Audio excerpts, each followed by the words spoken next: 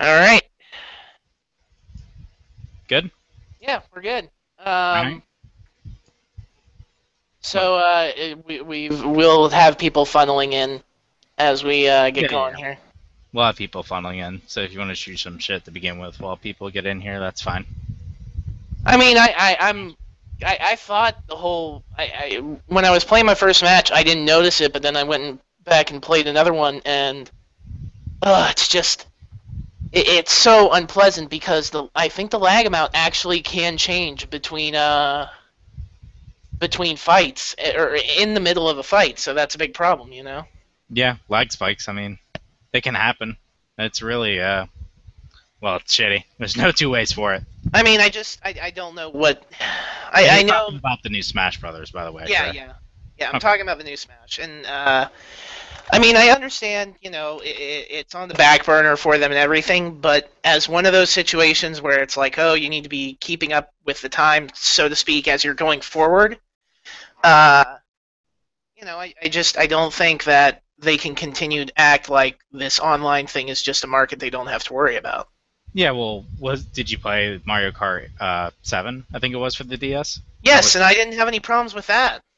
Yeah, and that was like eight players, wasn't it? Yeah, I, I don't understand what this problem is with.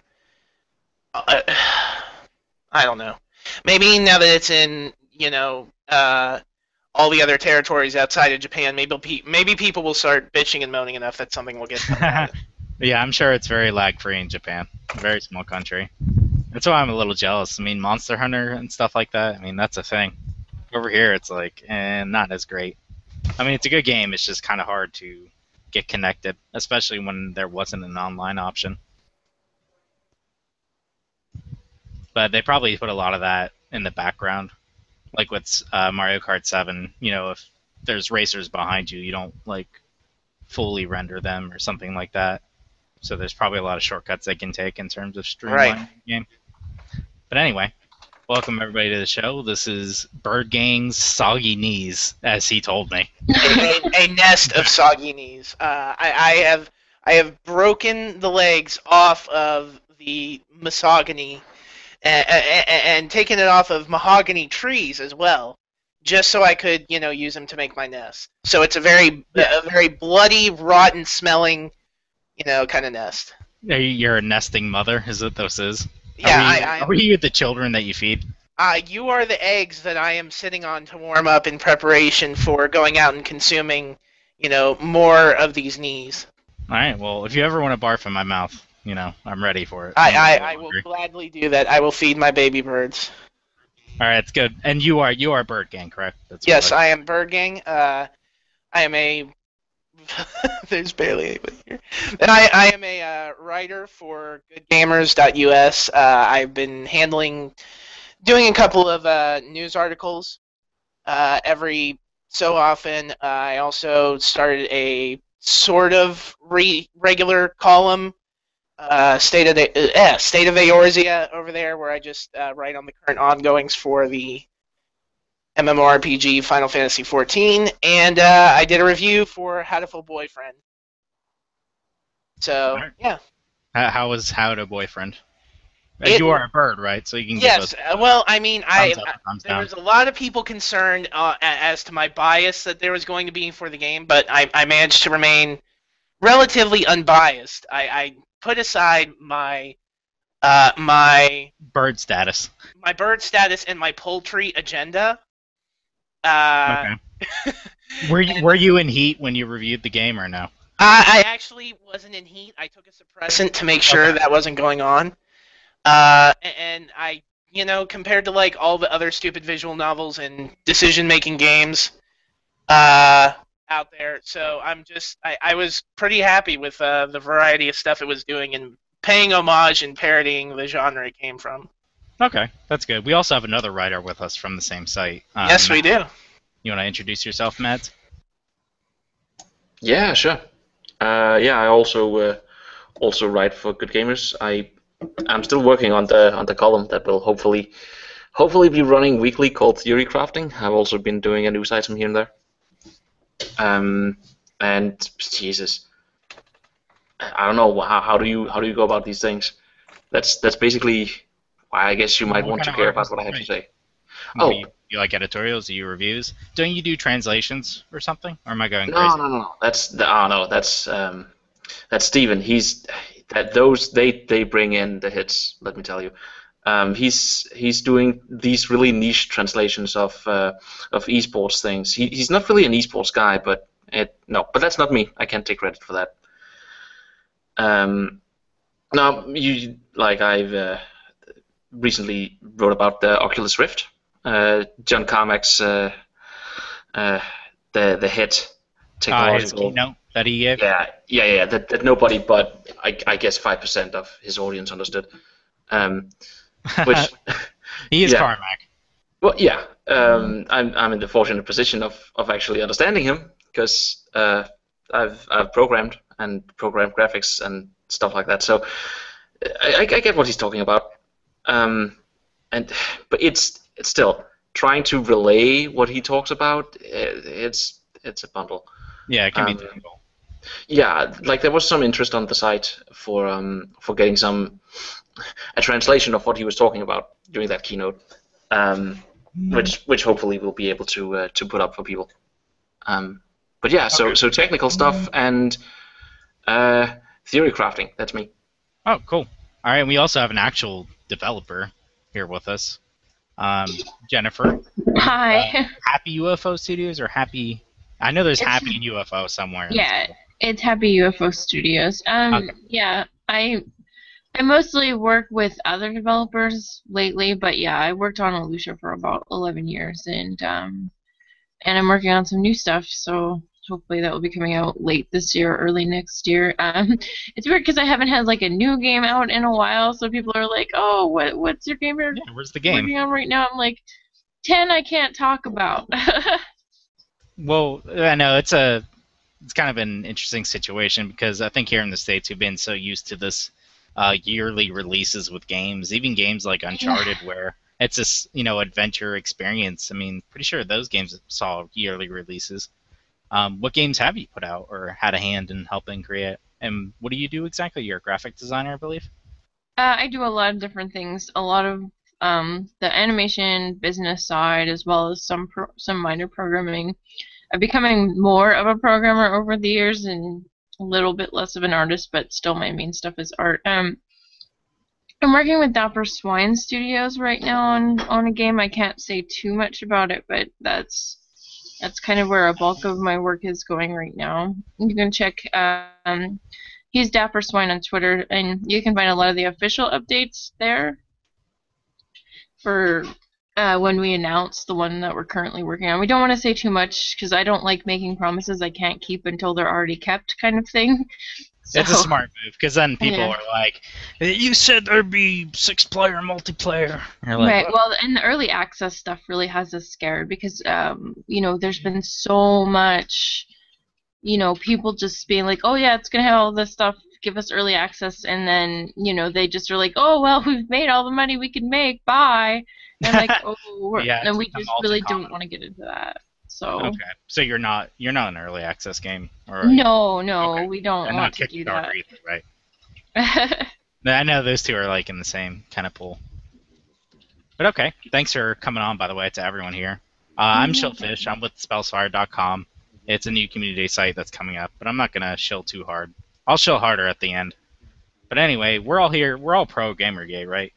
I mean, have you guys heard about this Gamergate nonsense? I, I don't know. It sounds like it might be kind of a new thing. I, I don't. I don't think it's gonna have a lot of steam. I think they should really just call it hashtag Game Overgate already. I mean, come on.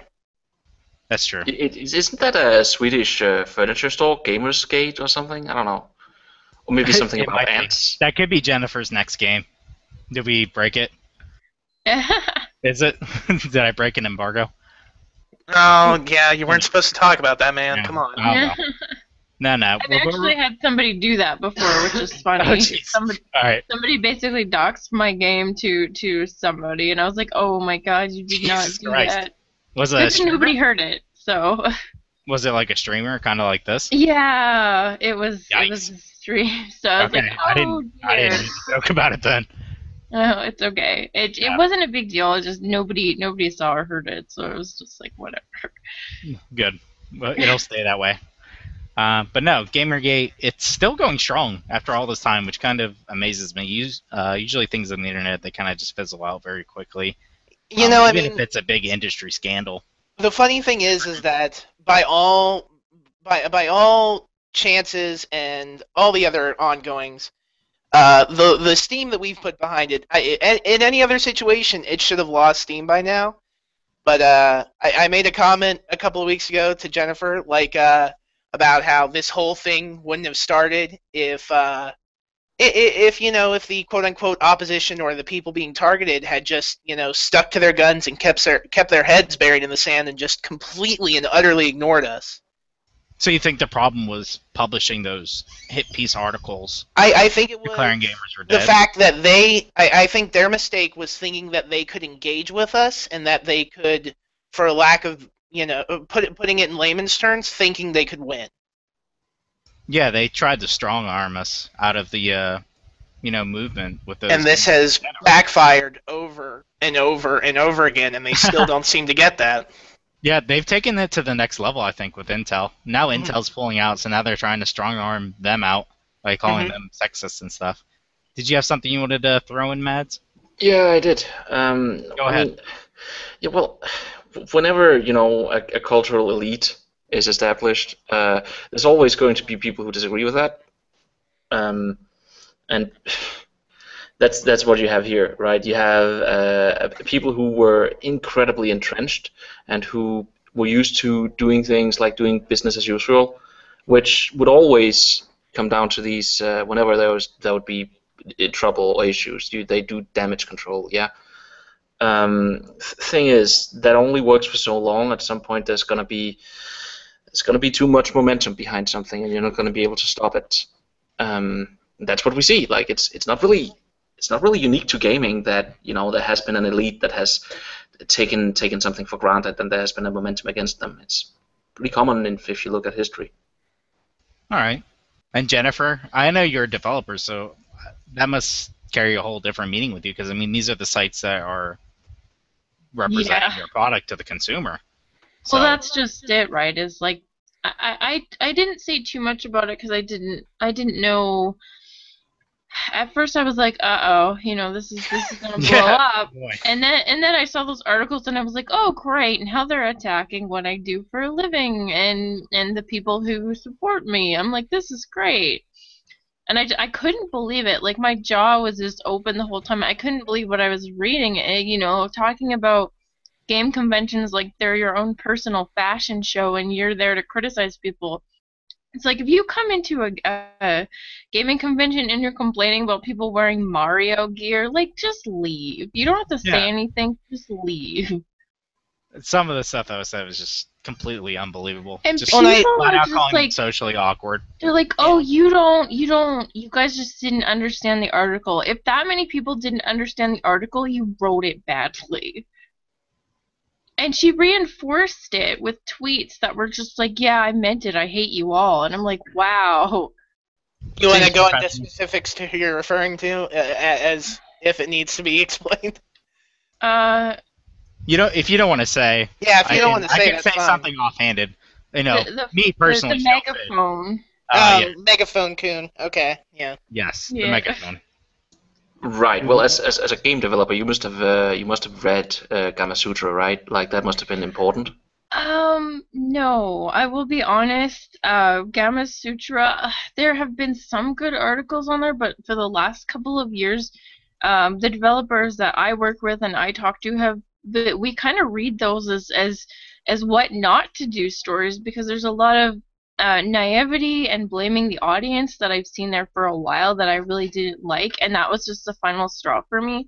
There's a lot of people there who will give really bad information. They'll be like, "Oh, mobile is terrible because I released one game oh, that was way over budget and I didn't think and I didn't do any research and this is clearly the fault of the market so I'm going to PC farewell. You know, there's just a lot of you know, hate of mobile gaming and, you know, hate of hate of this genre or that genre and just kind of dumping on on different groups. So I I've always had a little bit of a a, a hesitance to believe anything that's written on there, and I've always kind of said like, you know, uh, it's great to get another dev's perspective, but keep in mind that that there's a lot of things that are sort of colored by their own failure, and they don't want to admit to that. So I just, it, it's not it's not Gamasutra um, that I was worried about losing. It was just the fact that it was the final straw.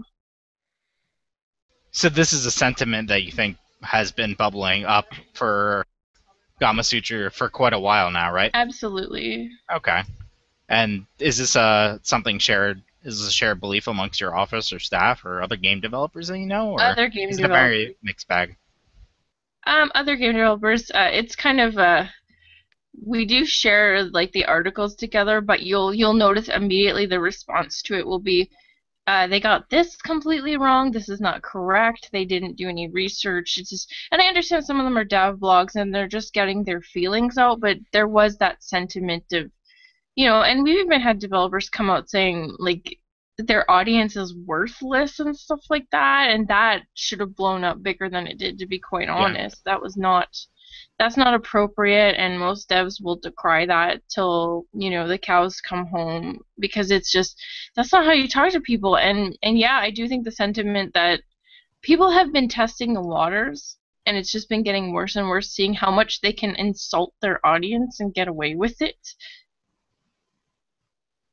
That's a very that's a very dangerous thing to push.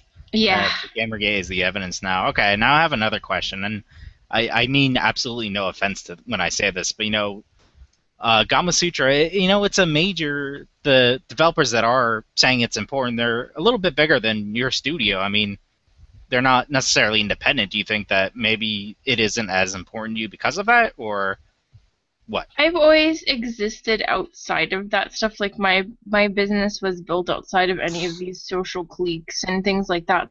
So that's possible. I mean, uh, but the problem is, is a lot of the game developers saying that they support it. The bigger ones, I don't see them writing on there, and when I do, I don't see them necessarily writing the things that I'm talking about. It is kind of like a potpourri of of good and bad, I guess. I just didn't like that the bad was going completely unfettered, so to speak. They just they didn't there was nobody contesting it. The comments were all like, "Oh, you know, clap, clap, clap. You did a great job. Don't worry about it." You know that kind of thing. The sort of yeah. back patting. I think I may be able to chime in with some reasoning behind that. And uh, this is coming from somebody who's occasionally checked in every couple of months on Gamasutra over the past couple of years. You know, I'll go there if I see an article that wor- looks interesting. And uh, I, I I think we saw a rise in that uh, in the same way we can attribute to what was going on over at Kotaku because. For the most part, I would say about three or four years ago, the argument could be made that uh, things going on over at Kotaku weren't the same state that they were right now. Uh, yeah, I am just gonna flat out name drop, so I'm not too worried about that. Uh, I, I'm just, I, I'm not too worried about it, so I don't want you anybody else to worry about that. But um, we saw this rise in the articles that were gonna get people over there. I mean, prior to I, I would gamble uh, about a year or two ago. Gamasutra was probably overloaded with a bunch of really kind of dry and overly economical and kind of nuts and bolts focus of their articles because that's what I would often see anytime I went over to Gamasutra when I was linked from someplace like either Joystiq or Destructoid or Escapist or even uh, even when I saw it mentioned on uh, television shows back when kind of G4 Tech TV was still in its you know heyday so to speak. Yeah, rest in peace. Rest in peace. Uh, um, I mean, the thing you would see is that if they were getting attention, it was because they were writing a gaming community, gamer-centric article. None of that, you know, n- none of the stuff with which I bet they were originally built and founded upon is probably Stuff what's I preferred. yeah, the the stuff that people like uh, Jenny or Jen, I whichever you would prefer to me to call, Either's fine. um, the stuff that was preferred wasn't getting them the clicks. So unfortunately, I think it's like Kotaku. They resorted to whatever was going to get them the clicks. So they wrote heavily loaded opinion pieces and stuff that would get the gamers coming to the website. And they, much like a lot of these other websites, they clung to that old moniker and that old statement of what they stood for. Yeah, I mean, without recognizing that it actually changed.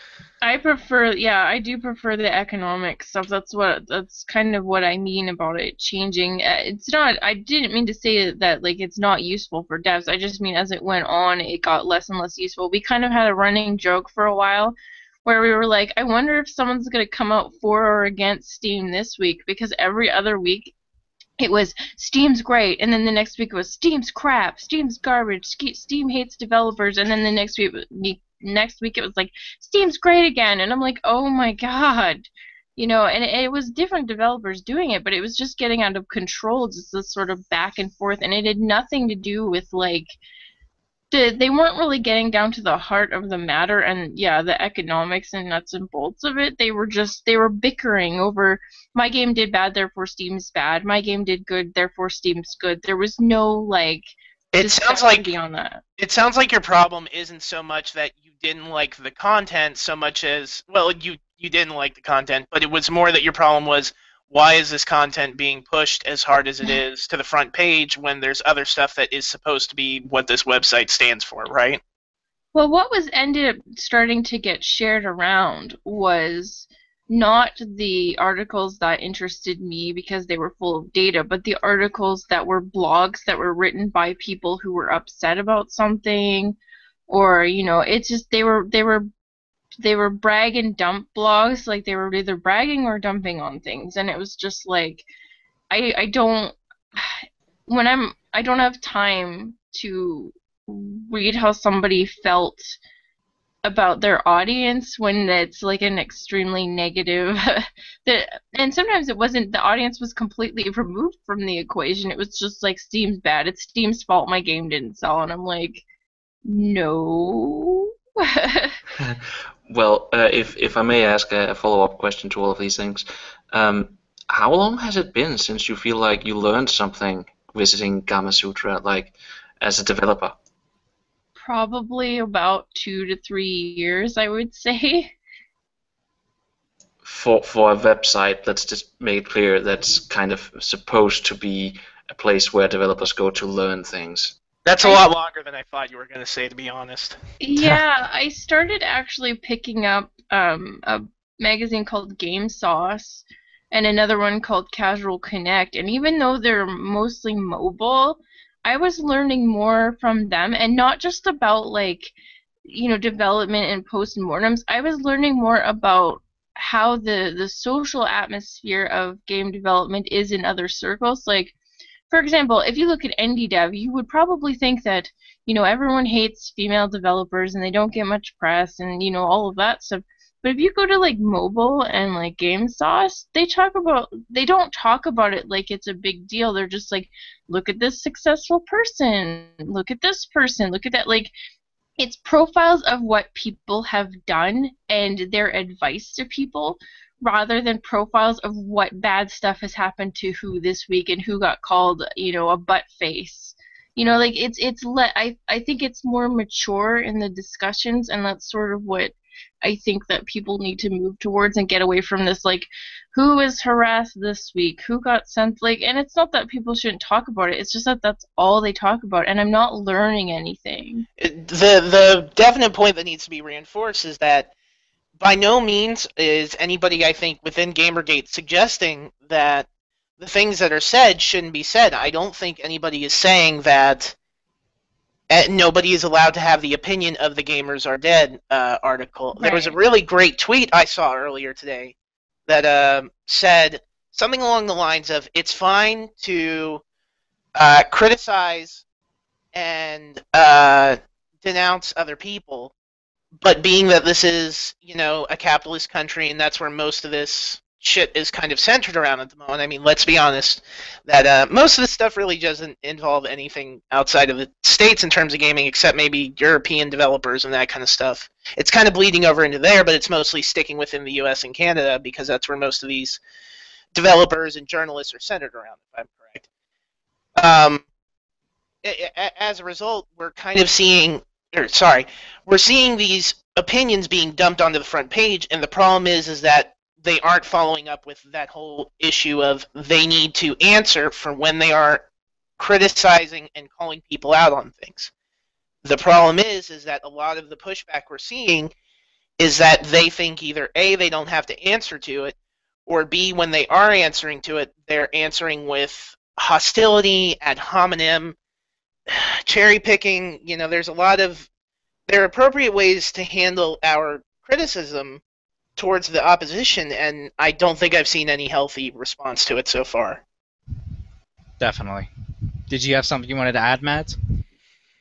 Oh, um, uh, yeah, that was that was uh, I guess uh, regarding more what we were um, discussing specifically about Gamasutra. Um, it seemed like the um, from what you described, Jen, that it's like there was a, a, change of focus on the website from being driven by what makes a great game, like a, a trade, like focusing on focusing on the trade of computer games, and moving into focusing on persons, like celebrity, fo- focusing right. on yeah, on, on, on the idea of of identity, like who's who, what's what, who's who's famous, who's powerful, who's a megaphone, who can you mess with on Twitter and not get your career demolished.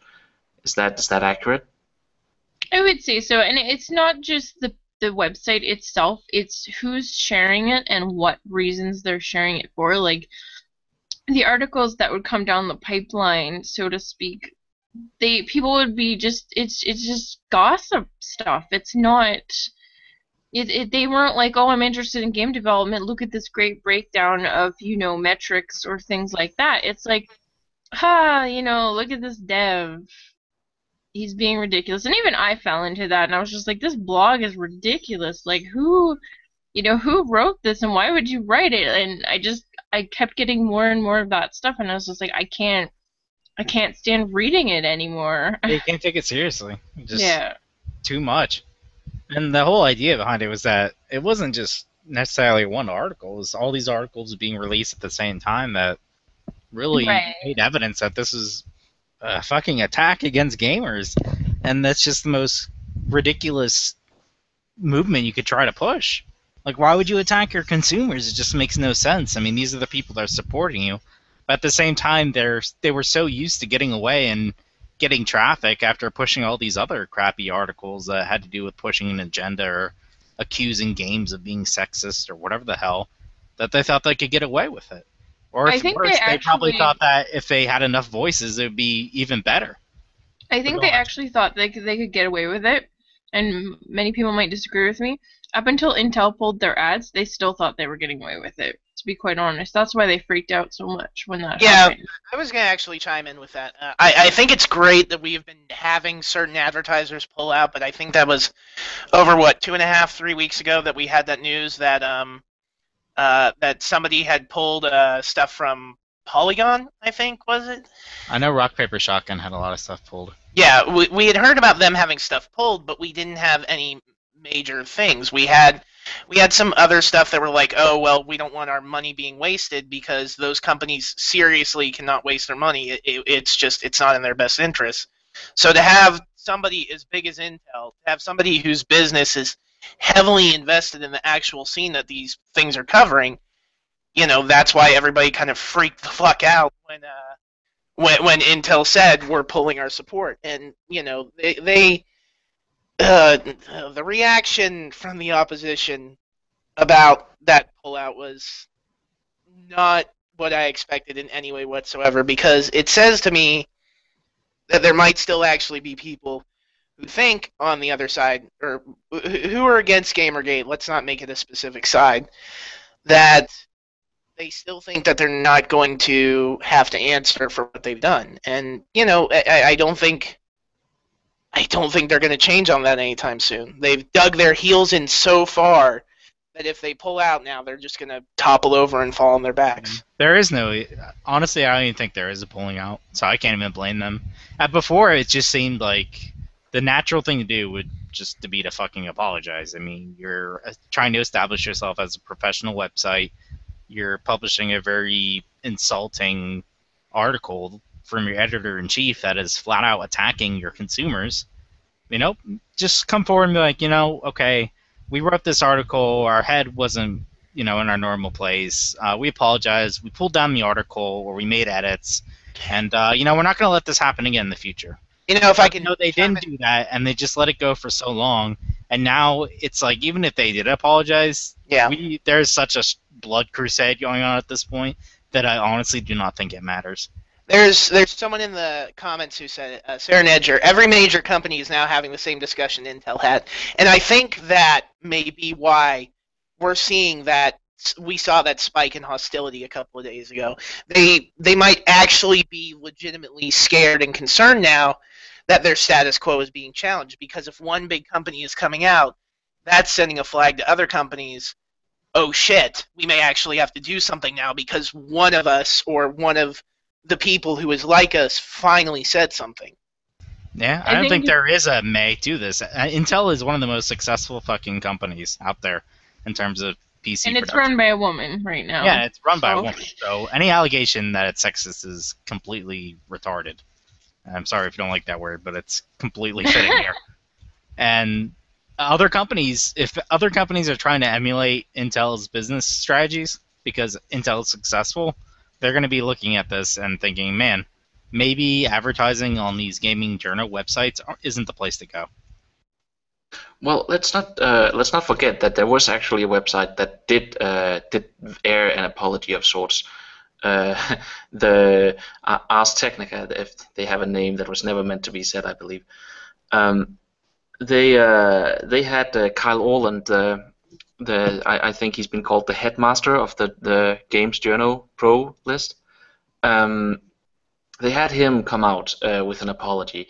Apparently, his uh, his feathers were ruffled by uh, by their editor in chief, um, and uh, and apparently he was uh, he was made to to apologize. So he, he he put out a piece called an apology and apologia for the for the GameJournoPros uh, list. But that's it. That's all we've gotten. And I, I don't know. You're not gonna you're not gonna see like these 14 websites each come together and start apologizing. And I don't think I'm not even sure you ever were. Like I don't think it's No. yeah. Like if you're explaining, like you're losing. Like I think that's the mindset. I think the mindset of these people has been that the the people who start apologizing and back down too early will actually be be dogpiled. Um, so therefore, they are incredibly defensive in in You, in, in you doing think like that's the giving ground. though? Do you think they would get dogpiled if they came out early? Oh, they would Mm. yes, but not not I disagree with necessarily. Because you Not- just need to look no further than the escapists. Yeah, I was They're one of actually the first ones who pretty much said, "All right, look, uh, we kind of fucked up. Here's a forum where you can talk about this, and we're going to be changing our ethics policy going forward." And now they're kind of respected along the uh, GamerGate community, as far as I'm concerned. the, the the site itself and the community is uh uh the community is a little more allowing of this discussion now but i think to say that that the escapist is you know completely devoid of fault at the moment i think No, I didn't still- say that. I said oh that. sorry no i'm just speaking from the perspective of a general view. Um, there are kind of there are people within gamergate who have kind of who- who are kind of treating the escapists as though they're all done and they need and they can fix things going forward. And I think they're still forgetting that they're potentially two significantly loud voices over there Billy who Bob are and yeah. Uh, Chip Right. Chipper Chip Chipperson. Chip Chipperson. And uh, uh, uh, I guess the other one was what was it? Um, Movie Boob Well, there's movie Movie Bob. There's Jim yes. Sterling. And oh Movie Bob right Boofy boob, jeez. Uh, look, th- th- I think there's one crucial difference between uh, the escapist and the others, and that is that the escapist didn't write a hit piece. yes Like, I, I mean, you're right. You're right that they, they came out and apologized, and they they have gained so much trust from that uh, by comparison to everybody else. They they well, have they they didn't have write um, a hit piece, but they did. The owner or head co-founder did come out and make that statement regarding literally who, right? I don't remember what you're referring to Um, Greg Tito, I think it was. Didn't he come out with a statement saying that in the forums that they were not going to cover this story and that they give uh, something along the lines they give like the benefit of the doubt to the accused or something Yeah. like that. But then I believe since then Greg Tito has uh, has Yeah, been but they the did silent as far as I know. So Yeah. they write an article hippies. but keep going with what you're saying, Matt. Yeah. Right. I mean, um, it's. I, I don't know that The Escapist necessarily has ever been about gendered politics. I don't think they've. uh, Like, I know uh, I've been reading Movie Bob's blog, and I know that he has, uh, you know, in like personally been about that, but I don't. I, I must admit that I don't read The escapists that much, but I see. I seem to remember them being very concerned with games and having fun with games and not really being that much about who's who or you know uh, how how misogynist whatever's are going going on. Yeah. Um, I mean, like, I'll come forward with the admittance that, uh, kind of prior to this, I was still kind of clinging to the escapist as sort of a last bastion. I mean, I, I saw the articles that were put out by uh, other websites that I was using regularly. Uh, no need to name names, I figure. But, like, the escapist was kind of becoming the last place. And then now I remember that Chill reminded me of it about the uh, article about Tito. Uh, you know, it, it kind of put forth this. Hmm, I, I don't think it's. Uh, I don't think I should be here anymore. Um, but prior to that, there was a lot that was influencing my views on it. Uh, I was starting to see that whole, for lack of a better way to describe it, the uh, social justice thing kind of taking hold of certain stuff on the website. Uh, I was seeing. I was kind of seeing critical distance. Well, there was the obvious one of critical distance, uh, kind of sticking its nose in things and sort of giving this general commentary that was really, it was half unnecessary, and uh, you know the other times it would be completely pointless. They ran this whole stupid article about how game journalists are uh, having failures because they're jealous of of all people of PewDiePie's success when it comes to doing stuff about gaming on YouTube, and it kind of just broadly brushed off anything. It, it, it brushed off any other potential YouTube channels, n- like all of them. Didn't bother to mention, you know, the company that he's connected with. I believe Polaris, or maybe that connection isn't there anymore. But you know, it was ignoring things like you know Machinima. It was ignoring stuff like. Uh, a- a- literally any other person or group that was on YouTube that was discussing games. No, it went to PewDiePie. It's almost as bad as that CNN article that suggested that the Gamergate thing was started because of literally who number two. You know? Um, and I don't know. What do you think, Jennifer? Uh, I just I I don't understand these people to be quite honest. I think the hubris is just it's over the top. I, I don't understand the defense of people who do these things and I just I don't it- it's still baffling to me. If I think about it too hard, I think I think brain cells just just kill themselves. So it's like a, a flock of dodos hitting Yeah. all at once. Yeah. And I it just it, it one thing I have noticed is like certain people who no matter how hard we try to drag the conversation away from that, they want to pull it back on themselves and it's it people have to understand that there is no money in solving problems in this situation. There's none. Solving the problems is it's a death sentence for them. They don't want solutions. They don't want apologies. They don't want because all their money comes from the fact that they're controversial people. That's where all of it comes from. You take that away, and what is left? What is left of any of these people if you take away the fact that they yell and they're mean to people? Like, what? Where's the merit left at the end of it? I, Sure. I I think the thing is that I agree that this is a problem, but at the same time, I recognize that there are a lot of places that base their um their audience or their their significance on this whole thing of we have people with controversial opinions Right. and focus points, and that's why we have our website. The problem is, is that it, it goes back to what I said earlier. These people do not want to have actual discussions and debates. They And they want to have. want- sorry, Sorry. they don't want anything to have a consequence either. Right, exactly. You know, they want they want consequences for people who are like, "Hey, wait a minute, this is wrong." Then they'll call up your work and get you fired. But if they can say whatever they want, they can scream in your face, and if you're like, "Hey, stop," they're like, "Oh my God, stop, stop silencing me!" Like the thing with the Intel was ridiculous. You know, the people who have been shutting down discussions and cutting people off and just like making it so that you have nowhere to go to talk about this for two months now have the audacity to be like, this is silencing us by removing your ads that you don't have to pay us for. Mhm. I, And I'm what kind of gonna, message are you going to send the future advertisers?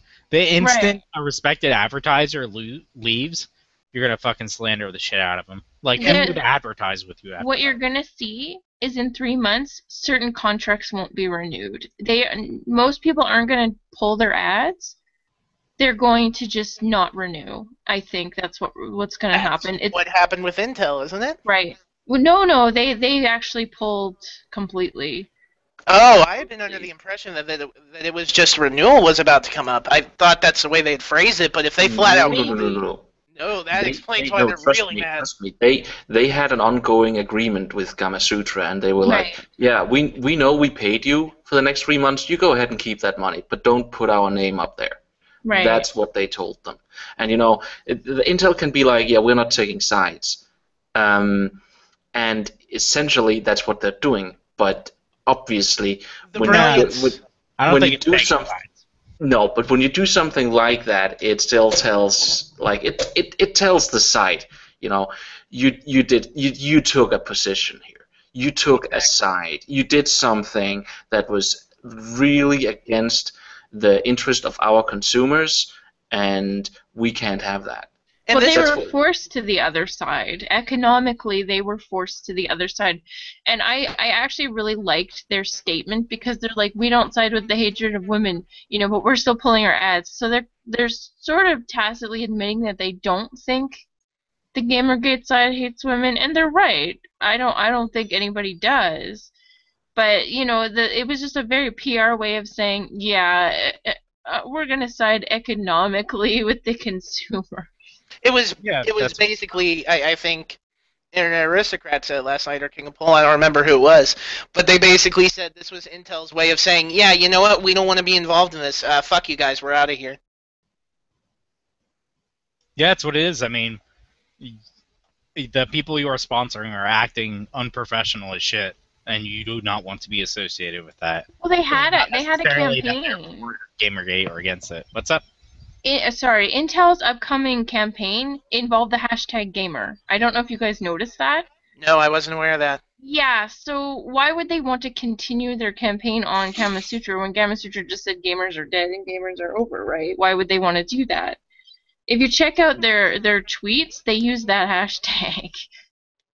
It might, you know, this might be giving Intel a little bit too much credit, but you don't exactly need the latest i7 uh, Co- Core i7 uh, with uh, I don't know what they're called, 4650 or whatever, right? You don't need one of those to run an HTML game. Like, honestly, Right. you, you, you, you need the you need the brilliant processors that they make to run shooters or to run you know hardcore games. You So, so let me just uh, let me throw it out there. You're suggesting that you know maybe maybe in a way there uh, the subtext to this is uh, we don't give a shit about your you know your HTML developed no advanced coding uh, not system resource heavy uh, games. They're they're not a concern of us when it comes to our marketing. So all the more reason we have no interest in being involved with this. I mean, that's being very cynical, and uh, you know. Yes. Yeah, that was But- But but like suppose suppose some out somewhere out there in the future there's a, a bleak dark version of the world where there's nothing but HTML games and walking simulators, right? Are you gonna are you gonna need uh, a great uh, processor or aren't you? You're not gonna need one. It's I mean that this is and this is what people have been saying. Like the, the analysis has basically been you know Intel's core market is gamers and and those were the people getting slandered but you know the, the, these people are proponents of a style of games that would not need these processors. It's, as I say, it's cynical, but, and I'm, I'm just putting it out there, you know. I don't think it's that far fetched to Yeah. suggest. I mean, you can call them socially awkward, you can call them white, you can call them nerdy, you can call them whatever the fuck they want, but they spend money, and Intel wants them to spend money on them. And when you attack and- them, it's not going to happen. And I think that's the part that a lot of this uh, hostility towards Intel is forgetting. They they are they are completely still hell bent on that whole you know feelings and ideologies are what matter above all else. And it's like if you want to go where that matters, I, I hear right now I hear um what what, is it that uh, city in Switzerland that's really blowing up with uh, being concerned about hurt feelings and that kind of stuff? Or am I you know I'm making a generalization there? uh, there there are places you can go where you won't have to worry about that kind of thing. But you know, i i as much as we hate to say it, and as much as it's an unpleasant truth, the dollar is going to drive everything here. And as we've seen, based on certain behaviors from the opposition, they like to pretend that money doesn't matter, or they like to pretend that humanities are going to matter above all else. And in certain situations that's true, but not in a market not in a market period. That's that's not going to be the key influence when their voice isn't loud enough. I mean, they go on about how loud a, a, vocal minority is and how much needs to be taken seriously, but there's always going to be the factor of whether or not that where if there's money coming from it. Yeah. All right. Well, is there anything else, or you guys want to jump into the next discussion point? Mm. I, I I think we're the good. I, I think we're good. Yeah. Is that enough Gamergate badgering? yeah. Yeah, it, it that seems about right. I mean, right. it's gonna Well, keep. what about going the uh, actually? What about the gamer idea? Oh yeah. Um. Well, first, I think it's a great idea that they're looking into stock investment. I mean, you know, a wise decision to figure out how to spend your money and make sure that you're gonna potentially make more money off it, right? Yeah.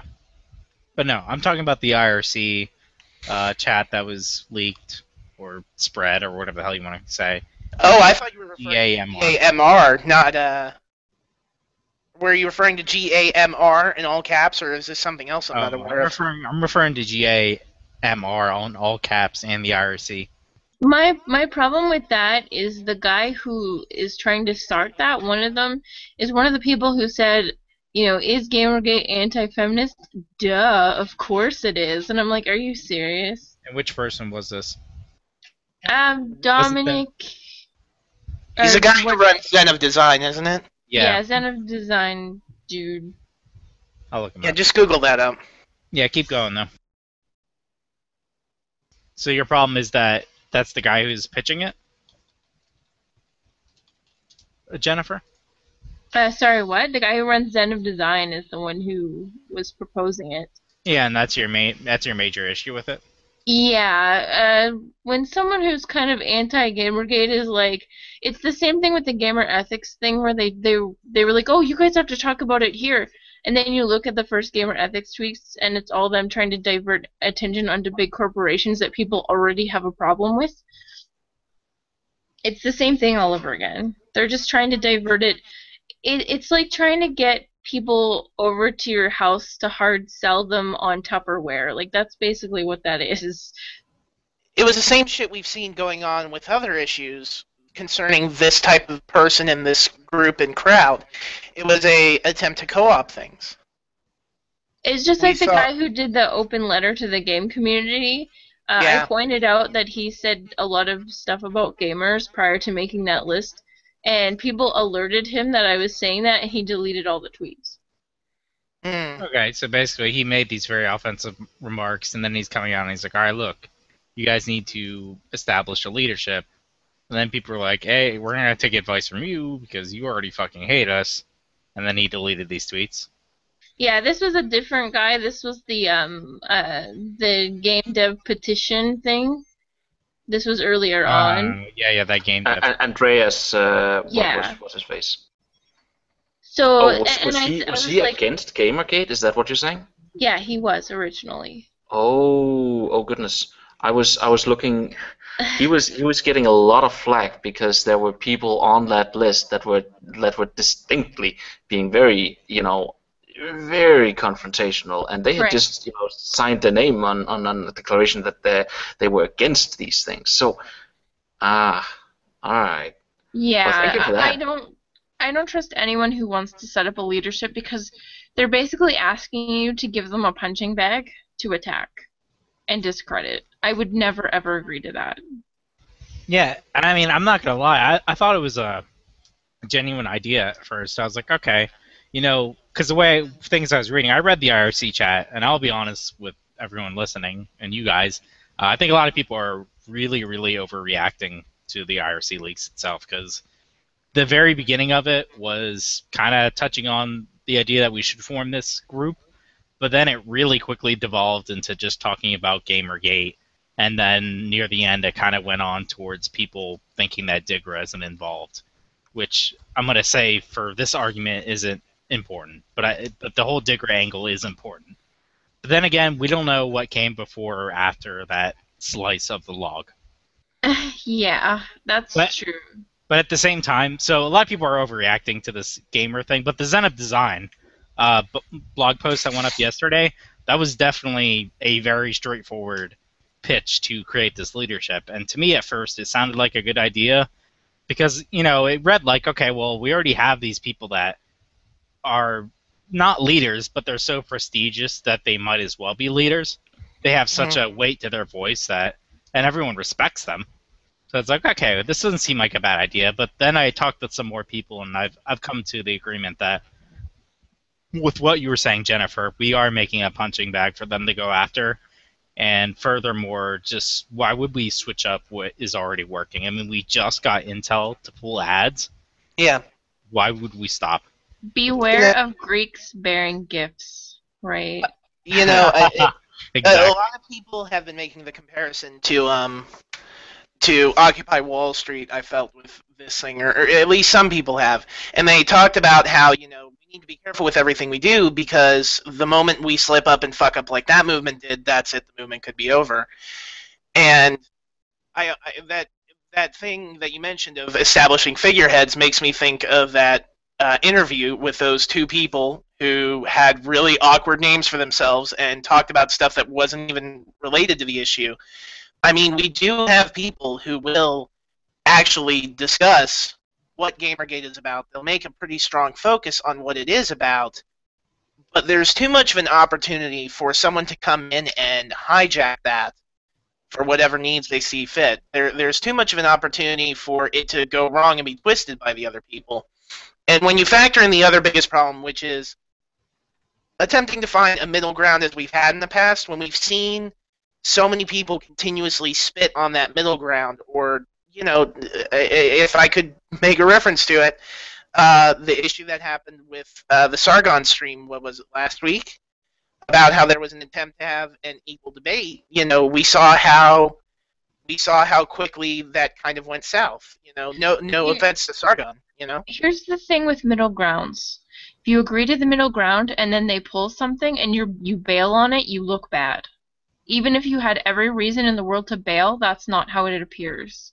Yeah. There is no middle ground here, unfortunately. It is, it is consumer versus, you know, whatever. And and the thing is, it's just there there can't be a middle ground because they want the consumer to assume responsibility that they have no obligation to morally, ethically, legally to do so. Like there was one guy saying if if consumers would just be the bigger person, this would all go away, and it's like that's a threat, and you know it's just you can't do that. You can't be like, oh well, consumers need to take some responsibility. No, they don't, and anyone who says that they do is is trying to pull something. They're trying to pull a fast one. Yeah, and they gave up the middle ground when they attacked with all these articles, right? I mean, Right. the middle ground would have been them apologizing for the articles made. The middle ground could have been them covering the Zoe Quinn scandal. Then middle the middle ground ground would could have have been been them not publishing. Talking to anyone. talking Yeah. to anyone because like there's the thing like even the articles that get posted by female devs they don't include me i get added as like a supplementary article if that they don't care Yeah, it's uh, it's unnerving. The whole the whole gamer thing. It at at best it was misguided, you know. But I I honestly think it's worse. You you, you gotta you gotta I- think about you, you know no like this. Mm, if if there's uh, if there's consumers or not even just consumers, if there's people who are offended by something. What what do they do? They they yeah. Sometimes they form movements. Sometimes they form you know uh, organizations. Sometimes that works for them. But a lot of the time they just speak their mind. They just speak their mind one at a time, and it it it helps. It pushes things in the right direction. Like the idea that we would we would establish some sort of fringe group of of, of gamers that that uh, would be pushing uh, against the mainstream. I mean, honestly, come on, you would you would be able to dismiss it, or you would be able to co-opt it, as some people have feared. I'm, I'm not sure that would ever happen, but it, it at the very least you would you would paint it as as anybody within that organization that said anything extreme, right? That would suddenly become something that, that would be cast light on. It would be used to undermine everybody within that group. Let everybody speak as individuals. Let everybody be critics of what has gone on. And you can you can only you can only approach people by their criticisms and not who they are. And that's that's where we will win because well we I say, but that's where the the movement will win. Um, that's where the the movement for better ethics will win it, it- because it's right. There's there's no need to create an organization agitating for what is right. You just need to say it loudly and over and over. It's gonna The- yeah. um, the middle ground for me is is a new is new media it's a new it's new outlets it's more people rising to the top as far as press goes that is the middle ground to me us giving our support to new sites and those new sites coming up beside the sites that we already have that to me is the only middle ground we're going to see Yeah, like spellsfire.com. We're good gamers. Right. exactly Exactly. I I just gave you an opening to, to chill a little. That wasn't intentional, but that's okay. well, I'm gonna jump on these opportunities whenever I can. Well, But we no, all I don't blame because you. nobody's. I, I, I- and this is the thing. Nobody's going to denounce. Uh, nobody's going to denounce anybody trying to do something to better themselves because the whole point is we're trying to better it because we hope that our voice is going to be the ones that people want to hear going forward. eh, considering. Sorry, go ahead. Uh, sorry. Here, here's the thing. New media is going to pull everyone into the center, right? So the Mhm. people that are being very aud- audacious and you know offensive, they're going to start losing views to these other sites, and gamers are going to start going to the new sites instead. So you you will by by default you're going to pull more moderate people into the middle, which is what needs to happen. Agreed. I mean, A, a good way. Tear down the old one, tear down the older walls, and build them up. Right. Yeah. You know? And, and this is what I was loving. Uh, This is kind of sort of what drove me into Gamergate. I love that we were seeing this rise up of this rejection of a certain group of people or certain people in particular having the final say on the voice. It was, if anything, one of the best things about Gamergate is that it shattered that whole idea that certain people were going to have control. It was saying that no, we're going to give the voice back to the gamers we're going to let people speak for themselves and stop having certain people be mouthpieces. We're going to let everybody have an opportunity to represent themselves and speak for who they are. And I think Yeah. Not Your Shield was the best representation of that. Yeah, Not Your Shield is beautiful. It's great. I got the. I was invited to do a stream once with them. It was fantastic. I would do it again. But anyway, you guys want to talk some about actual games now, or do you? We can officially stop talking about Gamergate if you guys want, because I know everyone. It's it's the uh, movement on everyone's lips, and we've You been know- getting- talking about it for a while. What's up, Hey- Bird Gang? the the whole thing. My last comment on middle ground is I think the reason people want middle ground, even still on the GamerGate side, is because they want some concept of re- resolution. They want they want they want things to, for lack of a better way to say it, come to an end. They just want some of the insanity and some of the stress and discomfort with all this to stop. And a lot of people, even myself, are naively hopeful that middle ground might create that resolution that we're looking for. But uh, there was an article that I think Milo posted up the other day, or the statement I made on Twitter that you know, much like any other movement, this shit isn't going to end. There, there's no hope for a middle ground. The idea of a peaceful resolution is a pointless thing at this point because the moment that happens, things go back to the status quo. And Exactly. we've established that this status quo isn't working for the gaming community because so many people have seen that they can get in there and manipulate that status quo for their personal agenda. And I think that is why people are pissed off and why they're just not going to give up because I, the reformation has to happen. I think it's amazing that they can refer to the consumers as the status quo when they've been setting up the status quo for like 10 years. And so I thought that was hilarious. They're like, "Oh, you guys are the status quo, and you're afraid of, of it being torn down. You're you're reactionaries." And I'm like, "How can how can we be the status quo if you're the ones with all the power in the situation?" Yeah. Because they got us into that delusion that we really had any power, that we had any say, Right. because they feared us, and I think that's what it is. That's the only reason we've seen them push back is because they're afraid of us, and they're afraid that if they don't respond to our intimidation with equal hostility and intimidation, that we're just going to back down. Tha- That's why they're resorting to doxing. They're resorting to sending syringes in the mail. That's why they're doing all the shit they do, because it's just one giant game of chicken. And they're starting to finally maybe realize, even though they're still barking with their hostility that they are, that we will stand in the face of that train that they have coming our way. And I think for the most part, everyone is willing to get splattered into tiny bits by that train and still talk even into the throes of death as they enter into it. Whoa there. Throes of death. Alright. Enough Gamergate.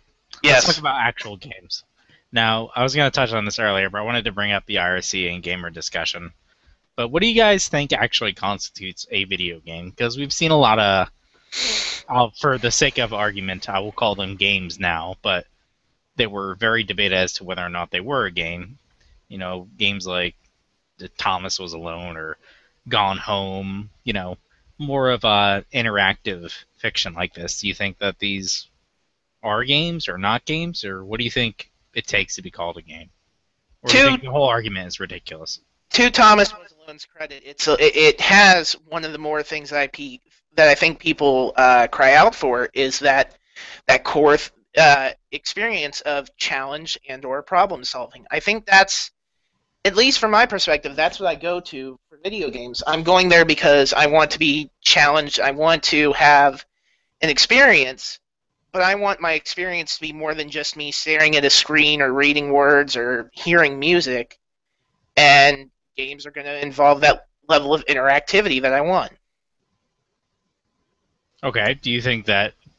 So, are there non-games? Do you think that there are products out there that should not be rightfully called video games? I think it's I think it's like how we have different types of books, right? Like you have you have novellas, you have short stories, you have and then you have novels, Self-help books, right? yeah.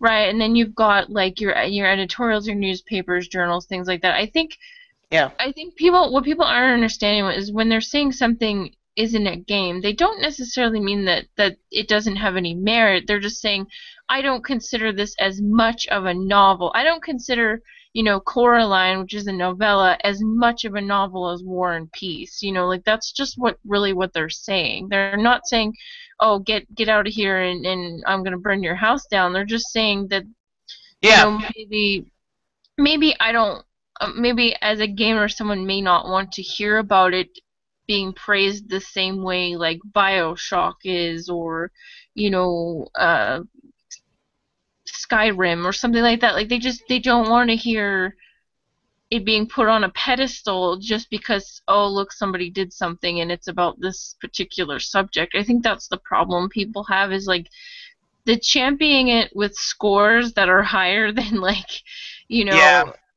My my good metric is if a mid-level to large studio put out this game would it have got the same score? If the answer is no and i'm not saying you can't consider indie dev budgeting or anything like that i'm just saying would you give this as good of a score if it was not a made by a per- certain person b was made by you know somebody who was already known kind of thing Well, and I think this is. I, I think your point brings up why we're starting to see somewhat of a rejection of review scores because people, and unfortunately, it is a very small amount.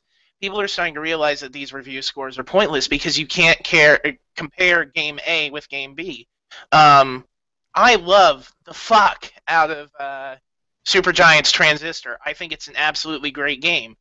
It's probably one of my favorite indie games of all time, but I would be absurd to suggest that it compares in any way whatsoever with other favorites of mine, such as uh, Okami or even Dragon Quest VIII. The the idea that they're on par with each other, purely from a contextual level, i- is it, it doesn't make sense to compare the to compare the games. Yeah, but do you think that they're all actually games? Yeah, I think to I think to some degree, at, at a core point, they all have some value of being called a game. And if I can go back to, did you want to say something, Jennifer? Yeah, just just real quick. My how I look at it is what these people want is Professor Layton to have all the puzzles stripped from it and still have it be considered the same as the original Professor Layton. Like that's what it feels like. Oh yeah. Yeah, Yeah. I had uh, something I wanted to touch back on with you, Jennifer, but you can go ahead and say your piece, Matt. I got I got it in my mind. All right, that's uh, that's fortunate. Um, uh, honestly, this this discussion of whether something is a game or not a game reminds me a whole lot of the discussion of whether uh, video games are art. Uh, you know that that's something that took place. Um, I don't know, ten years ago, five years ago, uh, even today. You know, uh, more recently, there's been discussions of whether or not video games could be art or were art.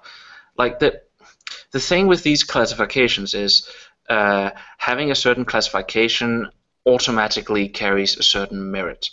Okay, so you can't if the the the statement that that uh, something is not a game has it might not have a meaning to you, but it has a meaning to a lot of people. Um, in my opinion, you know, you can't you can't say that that there's just that there's not a a, a sort of a concept that is carried with the game word that you're robbing from a title by saying no you can't you can't call yourself that. And it, it's the same thing with the art right? You, by saying video games aren't art you're robbing you're robbing it of a property that uh, like maybe not intentionally but but at least to people who listen to you you're definitely you're definitely not being nice to it uh, is is what I want to say. So, and and uh, to, to be quite honest, a lot of people recognize something like Gone Home or you know uh, Zoe Quinn's Depression Quest. They do recognize them as games. You know, if if if uh, if you talk to them casually in conversation, that's what that's what they would think of it as, because there's not really anything else to think of it as. So there's a number of reasons why I, I feel like, you know, It- you're, can I chime in with something? yeah, sure. Um, you you make the comment about dismissing games as art as being a bad idea. I, I'd like to throw in the very concept of art itself. Uh, I would say that if something, and this argument I think is a pretty strongly made one, if something like Jackson Pollock's paintings can be called art, I think there's definitely an argument that can be made that there, you can call games having some sort of art as well. Even Yeah, if it's yeah. not all games, they have the potential. To dismiss Oh. it as not even being possible, I think is what pisses off gamers the most. That uh, the games can't be called art. They're they're people. Certain people are dismissing the mere possibility of games being art. Yeah, that's absolutely that's absolutely where the the controversy uh, of that uh, like rides. You know, the the dismissiveness, the the snootiness, the the idea that uh, you know independent games developers wouldn't be able to get arts funding uh, because uh, for some reason, you know, they're not uh, they're not I don't know contemporary enough. Like that's, but but I do feel like we we shouldn't now now that we're in a position where we're gamers, right? We shouldn't necessarily try to rob, so to speak, uh, fringe things of of their name. I, I, I feel like that's. I mean, obviously, a, a person who feels something isn't a game, you know, that's your that's your thing. You, you're entitled to your opinion on what is and what isn't a game. It's it's largely something that, you know, you you, you know it when you see it. So, yeah, that's that's fair. But I would I would you know go to bat to say, come on, try not to try not to to to, to be on on, on non games ass about this because honestly there they are experiences that have a right to exist and I'm sure there are people who enjoy them. I'm not one of them, but well, that's my piece anyway. Okay, well, I want to touch on what Jennifer was saying earlier with books, and I thought that was a fantastic example. How you were saying that there are, you know, there's novels, there's short stories, there's novellas, and you know they aren't really insulting to call a work of fiction as any of those. So, do you think maybe we should have something like that for games itself? Maybe like a game light or Yeah, I AAA game. yeah I mean, it would be hard today. to it would be hard to coin a fucking official term, but do you Right. think that would be a good Well, idea? that's why we have fucking linguistics professors and you know all that kind of shit.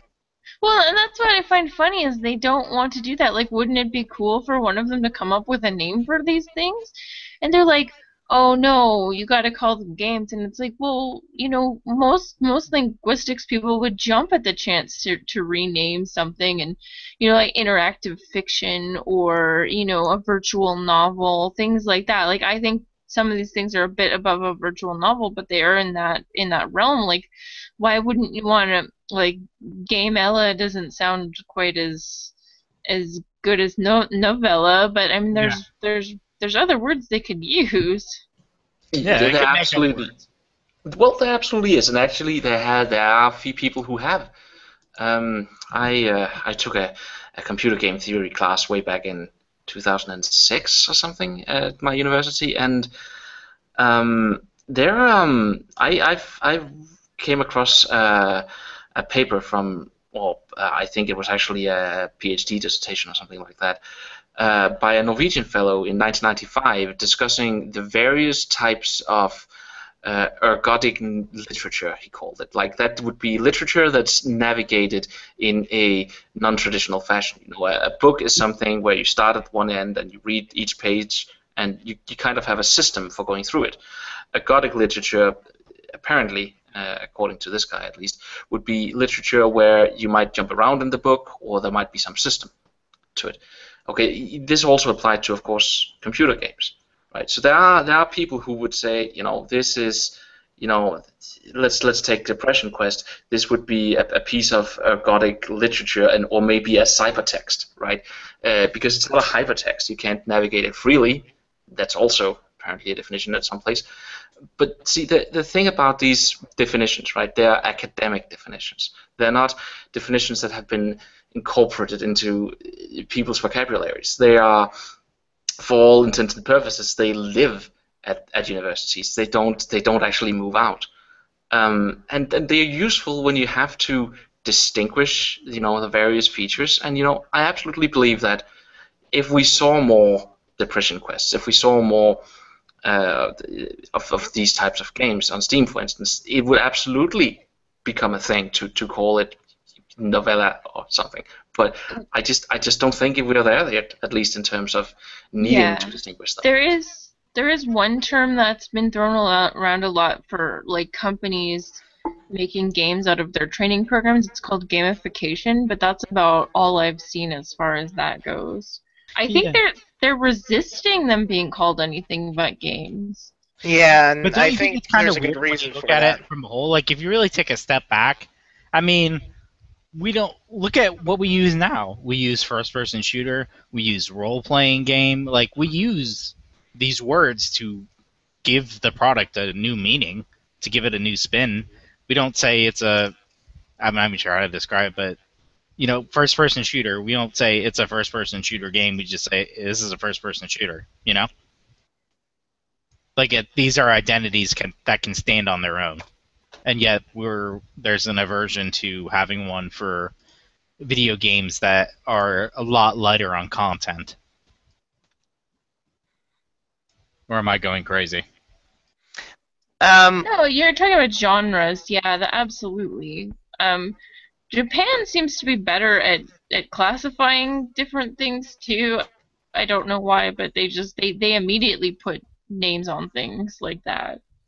well, I mean, a, a big thing in Japan is that I think there's a decent bit of the gaming audience out there that considers things like visual novels uh, to be games to some degree. I mean, you Right. see, you see content-heavy ones like uh, Clannad being kind of classified as games because there's a multitude of decision paths and all that kind of stuff the player has to be considerate of. They have to make sure they're making the right decisions in order to be sort of challenged to see to to advance relationship. But the problem with those kinds of games, there there are two problems. The first is when it's you know. Uh, uh, not that there's anything wrong with this, but in terms of its relation to games, it, it's kind of where it gets, you know, sort of questionable. Uh, when it just leads into it being blatant, out, blatant exp- explicit content, um, and when the other problem is the game not having enough depth in terms of the relationship development. There isn't, you know, we we see a light focus on that kind of gameplay content. You would see something like that in a role playing game, but even role playing games do that in Injustice by having the relationships within the games come down to a A or B option.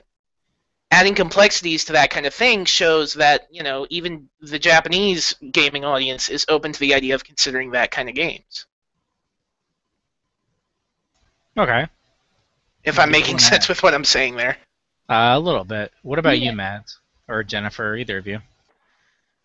Oh, I just I, I do think we're gonna get into this thing where if we're not careful with how we catalog these things, like I don't I wouldn't go this far, but like Steam has like, you know, games, software, etc. I think I wouldn't go that far as to segregate it that far, but if we're not careful, if you catalog them too much and there's so many of them because some of them do tend to be easier to make, you're gonna get just flooded with these things and people are just gonna be like, oh, the the Steam catalog's now useless. How do I sort through this stuff? I don't want to see this stuff, and I think that's going to lead to some resentment too. Because when you see games like that getting heralded for no reason other than you know who knows who, and people are just going to be like, well, I don't know what games are are you know the kind of games that I want to play anymore. They're just they're everywhere. I do think that that maybe a, a more maybe not top level classification, but at least raised a little bit more would be a middle ground for most people. Yeah.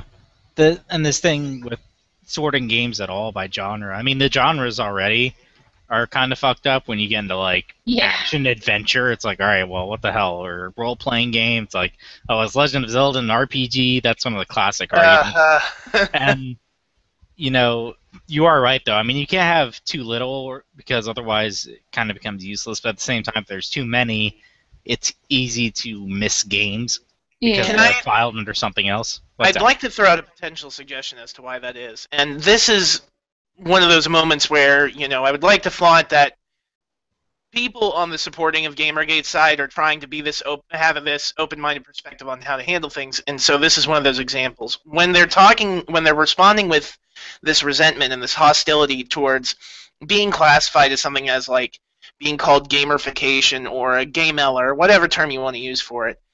I think they're responding with that because they fear their potential uh, customer penetration would then drop if they are put into a classification.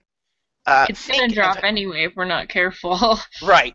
Th- think of how, uh, you know, when it comes to the mass market, if it isn't, if it doesn't have the qualification of something like shooter or military or realistic, a- any of those tags, sometimes more often than not can almost, I, I would say, guarantee uh, a, a mild mo- a modicum of success marketing wise. I mean, look at how, as much as I hated it, I still kind of enjoyed it. Uh, multiplayer was shoehorned into Dead Space. Uh, you know, the, the drive for that, I would say, was probably from purely nothing other than a marketing perspective. Now, whether or not that actually resulted in some better uh, sales, that's up to question but there might actually be some legitimate concern from the people making those sort of quote unquote non games or those game gameellas. That may be where they they're concerned. They're concerned from a marketing standpoint. Well, the you can call me that, crazy, but I'm pretty sure EA at the time made a mandate that all their games needed to have some multiplayer element. Yeah, and, uh, and I think that's think what. Happened. And I think it's because there was a marketing drive for it. It was like if we put multiplayer in it, it's going to sell better. And I am suggesting that that is a possibility, but for all intents and purposes, I don't believe that that is what these people who are making these gameellas are truly concerned about. I don't know that that is their primary concern above everything else. I think there's there, there, there are other reasons behind why they respond to hostility with getting their own classification, so to speak. Well, um, I, I, an informed consumer is a good consumer, right? So, you know, it, it would make sense to have it if it's if it's a, a gameella. Uh, you know, it would be nice to have it classified as such in at any store that you're that you're visiting, so that you have a, a heads up about what you're about to see. Um, I, I don't know, like, e- there's nothing wrong with at least classifying these games. Yep. Nothing at all that's that's my stand on it. But EA, I hope that we can that we can keep keep calling them games or yeah. game likes or something like that at least. Just to just to put in the point that you know as as as people who enjoy this medium, we're not trying to to take something from them because I I know that people say no no no it's fine they're just experiences they are not they're not lesser than games just because they're not games. Eh could we could we just not call them games then? I, I, I don't feel we lose much by doing that at least. yeah, I mean the only thing that seems to be able to sep- separate them from the you know AAA games is price. Really, I mean if I see yeah. a game that's ten or fifteen dollars, I can expect a lot less content in terms if it were priced at sixty. I mean that's not well. Really that seems to be safe bet at the moment. I, I think when you're coming forward with and this is speaking from a personal perspective. I know I've responded host, uh, with hostility uh, towards Gone Home, not from its content or uh, because of its lack of gameplay. Well, I was annoyed by that. I was more bothered by the price point, to be honest. I didn't think I got my money's worth. And my criticism of that was being swept under the rug with the oh so beloved uh, response, "Oh, you just don't get the game. It's it's three deep, five me." You know that that that was a lot of the responses that came from uh, supporters of the game or the developers themselves. Maybe maybe not those exact words from the developers or the people who had worked on it or even the journalists, but there was a general response of it, it, it's too much intellectually for you to get why the game is good and that is a completely inappropriate way to respond to. That would be that would be like clinging to Dead Space and saying that oh well you just didn't like it because it was super gory and over the top and therefore you're a bad person for that. Uh, you know, you, people have to accept that there's going to be audiences or potential players who are just not going to like the content that's being offered and I think that was a lot of the hostility we saw coming out of the responses towards Gone Home. There was this general speaking out of this is not my cup of tea, this is not something I like, and they just did not like that reaction.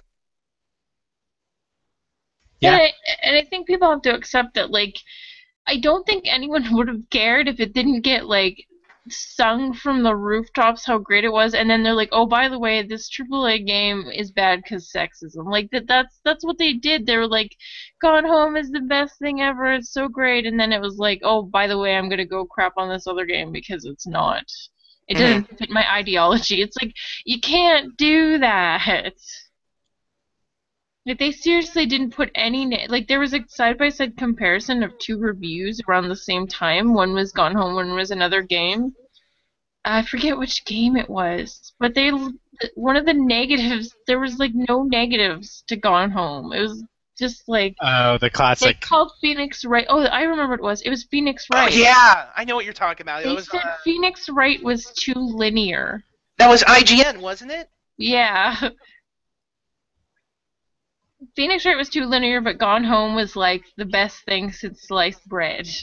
Yeah, I don't know. I feel like with a lot of these reviews, yeah, I am putting on my tinfoil hat of, uh, you know, they want to give, they want to reserve good scores for companies that pay them or whatever. But uh, so, when someone says like, "Oh, this game was linear" or "It wasn't engaging," like these are very fleeting uh, criticisms that I feel are only brought up so that they can somehow justify a negative score. Phoenix Wright was an evolution of virtual novels. That's the thing. It's supposed to kind of be linear, so it was just like in Japan that's not a bad thing. Uh, This genre is linear, this genre isn't. Like they just kind of do that. So it, it's always funny to me when like Western reviewers are like, "Oh, this game is linear." I'm like, "Yes, that it's that's hilarious. almost a feature." It's hilarious that a place that is often criticized as being the most xenophobic and exclusive places can sometimes be the most open-minded and inclusive places at times. Yeah, yeah, that is uh, that is that is interesting, but you know, Japan is weird. But that besides, the the the problem with criticizing the lack of nonlinearity in something like Phoenix Wright, right? That's you know, okay, maybe, but why would that make it better?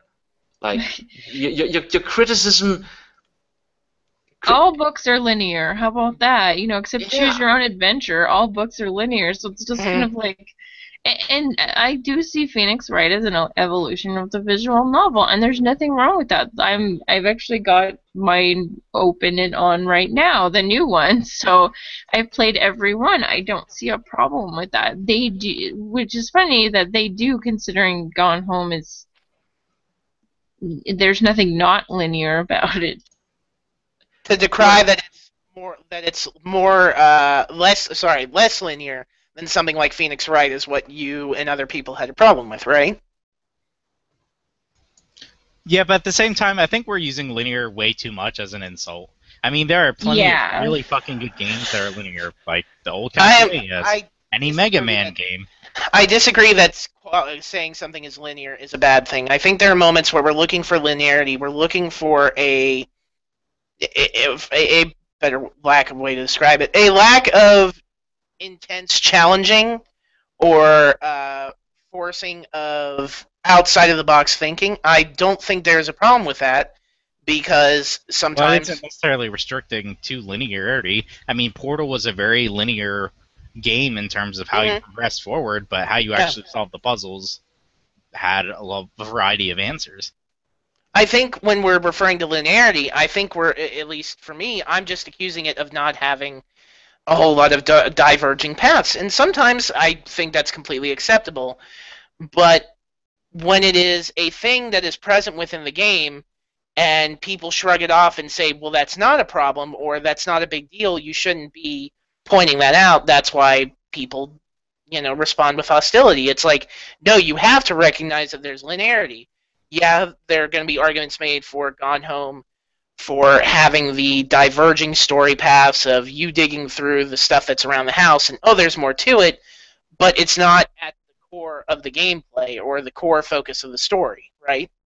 I mean, those are completely optional, non-beneficial to the main experience.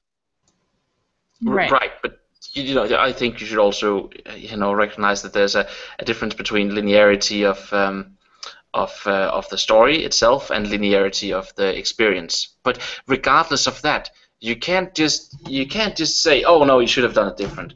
If like it's like saying a movie should have been in 3D. Yeah. Like if why? Okay, what would that have added? That would be my my follow up question that would come immediately. Right? There's A headache. no. Yeah, there's, 3D there's movies had a headache. right. You you you can you can't just. I don't know what's a good example. Um, Citizen Kane. Citizen Kane should have been in 3D. I would be like, if you said that, I would be like, what? Oh my god! like, why would you? Why would you do that? You know what? I think I think Twelve Angry Man Angry Men would have been better with uh, dubstep on the soundtrack. yeah, but I, I think with another linearity, you need to remember that a lot of times what they're sacrificing is freedom of, I guess, exploration or hmm navigating for more of a focused experience. Like Shadow of the Colossus, for example. I mean, yeah, you could run around and go anywhere, but you fought these Colossus in a very specific order Right. and stuff like that. With like, or a better example would be Half Life Two or Half Life One. You know, very straightforward level progression, but it was very, very focused. Like they knew where the player was going to be with a, you know, in a particular scene or chapter. They knew where the player was going to come from, and they were able to set pieces around that. hmm So that's why I don't like linear being used as a negative word. But you know, I get what you all are saying. Well, yeah, it's it shouldn't it shouldn't at least be a, a default negative word because it's it's clearly really ambiguous what the, the reviewer means when he says it's it's too linear, right? If he was more specific, there would there would be no real issue. Like if if you know, it would be fair for somebody to criticize uh, any game for lacking linearity if he had a specific reason why it was bad, you know. But that's but that's what it comes down to, right? And I'm pretty sure in the in the case of uh, Phoenix Wright, why would you, why would, how do you envision this being better with branching stories? I'm not I'm not sure I follow that. That's And an actually even really then, good there's question. the, even then there's the argument of like it was linear, yeah, but are we gonna really enter the realm of what the game isn't should be used against it? It's like okay, well there isn't a fucking first-person shooter section in Phoenix You Wright know, games. actually, there's a there's a really great game that I think you could make a comparison of. Uh, this is what a potential uh, non-linear version of Phoenix Wright might look like. And uh, I don't know if I'm going to make anybody angry or happy because I'm saying this, but look at um look at LA Noire and look at how the quote unquote diverging paths of that game really did not uh, change the linearity of the experience. I mean, it flaunted that you know cases could go down in different ways and you could have different outcomes, but much like it, or uh, I, I guess maybe even Walking Dead to some degree, you know, the, the the potential diverging paths ended up converging back onto one point, and I think that's what you would have if you tried to force that into uh, Phoenix Wright. You would still come back to the final verdict being the same in the end, or at the least, the overall story arc of the game would have a similar resolution with minor little details changed here and there. Okay. And I don't think that's that that should hold anything against it either. Just like Yeah. with any other thing, it's just like it's now kind of like it is it is a dirty word. It's the same with like you've got to have every option on a character now, or you're you're saying something about a, an entire group of people. Like if I want to make a game about a, a, a man, the male protagonist, like take Gabriel Knight that's coming out soon. Like I mean, that's kind of a sacred cow, and people don't say, well, why can't it be Gabriella Knight? But they are saying that about newer games. It's like, why can't I be a woman in this game? Well, you know, I see that for some games, but they want all games to have always an option to be both or everything or nothing. It just I I get to a point where I'm like, look, you know, this is the story that I want to tell. I, I don't generally make games where you can't pick both, but I do think other people should be allowed to do that without it being a you get minus the point because this game is about a man. I just I don't Yeah. get that. It's very hard. I mean, and you don't see that about any other statistics with a character. I mean, part of it is because that's who the character is. The character is a woman or the character is a man. You know, you can't be like, all right, well, how come Master Chief doesn't like the aliens? You know, how come Master Chief isn't a woman? How come he isn't left-handed? How come he isn't in a wheelchair? How come he Mm, isn't this yeah. or that? You could say this about. You could change any aspect of the character, and raise a question of why he is or isn't something. That uh, Master Chief being in a rocket-powered wheelchair would be pretty interesting. oh, that would be pretty cool. That, would- that would that would add a whole new concept to Yeah. uh, weaponized minority, right? oh my god! Yeah. All statements made on this uh, cast are representatives of our own opinions. Well, I'm just saying- the opinion about of that, right? I mean, goodgamers.us. Yeah. it- oh, that that is a disclaimer. They they talk about. I've seen that word come up a lot lately, and how that wants to happen. But I mean, think about it. Think of- think of how that would be a, a, a hilarious personification of that. Someone in a wheelchair who is left-handed, but is the badass who's going to save everybody. Yeah, and he's in a wheelchair, and the Yeah. dropship the dropship lands, and it, you know, kind of drops the landing ramp, and then he's just see him wheel down. And he's got a rifle in his hands. That would be really really cool. And, and yeah. Yeah, w- Yeah. in a wheelchair, and they're black, and they're a girl, and they uh, they have psychological issues that they have to deal with as well. All right, What's game of the year. funny is, is if you re- read the Halo novels, he actually does have some issues with that. He's not completely superhuman. Yeah. Well, we saw it finally come, and this is why I loved the hell out of Halo 4. We finally saw that come out in his relationships and engage and uh, interaction with Cortana and the other people around him. We saw him being very dismissing at times towards other people. We saw him seemingly dependent on Cortana at times. I think narratively and in terms of the potential character development that's going forward, I know people, a lot of people are hating on Halo 4 and saying it's going to destroy the series, but I saw it as the point in the series where I am more interested and invested than ever. I don't know if anybody else felt that way about it. Yeah, I think that like the the interesting part about Halo was like the the PTSD type environment that they were raised in as children to to be fighters.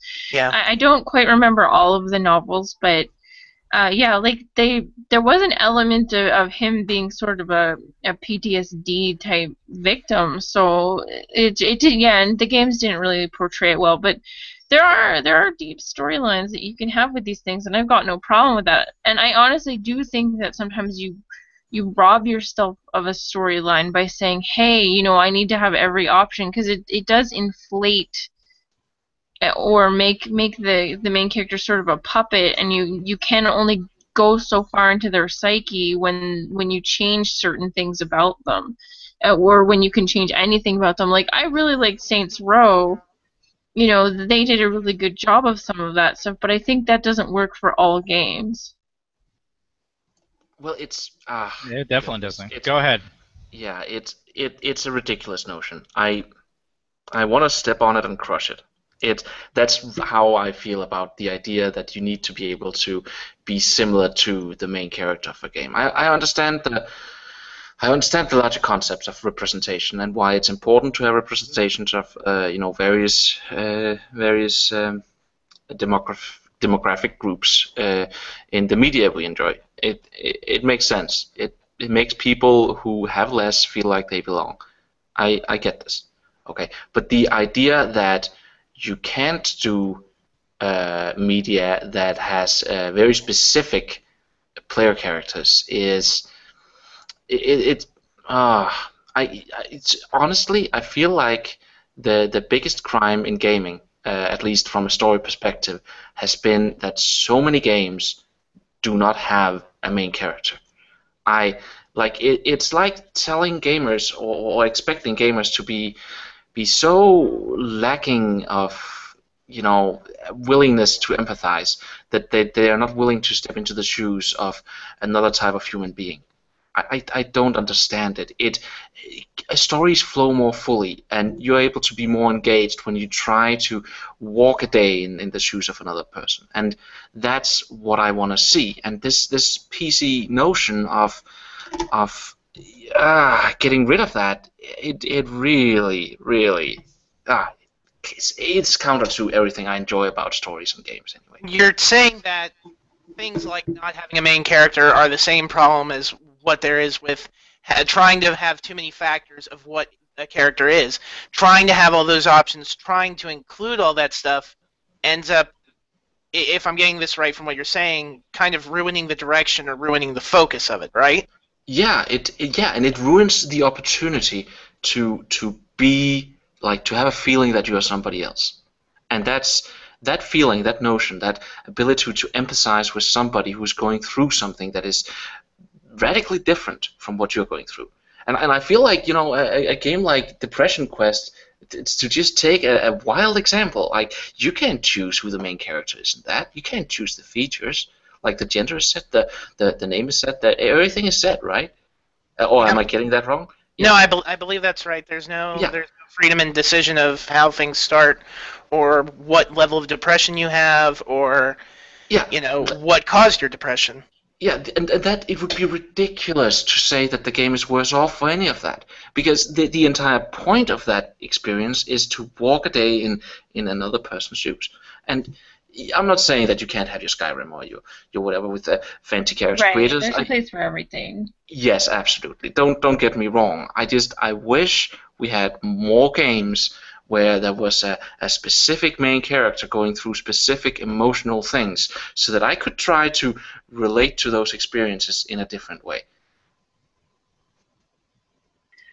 I always liked the series where you sort of had the hero that was more unintentional because they tended to have a more uh, in-depth backstory. Like I, I don't know if a lot of people played this game, but I really like the Shadow Hearts series, even if it kind of went downhill after a bit, Ah. because the guy didn't want to be a hero. He was kind of a a cad, basically. Like you know, there's there's some not so great things about him, and he just eventually had really no choice but to to help. It wasn't like, yeah, I'm gonna run off and be a hero now. It was kind of like, ah, crap, not this again, and that was just kind of interesting.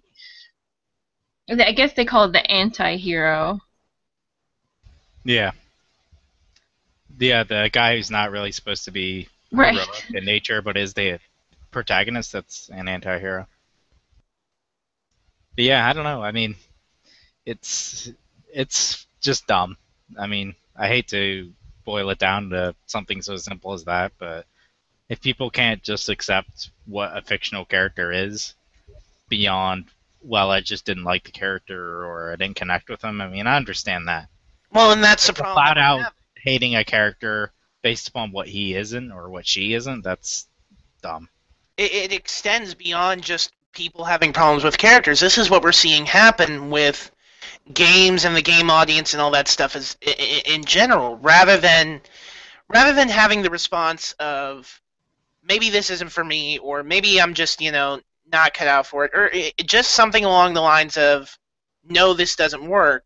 They're responding with no everybody else but me is wrong. My uh, this character is wrong. This game is wrong.